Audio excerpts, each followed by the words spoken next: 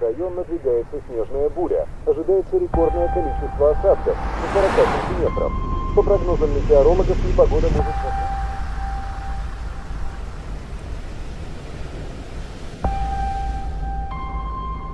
Воспоминания. Лишь в них ты есть в моей жизни.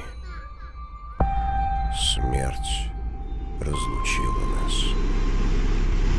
И судьба посылает мне новое испытание. Боюсь, последнее.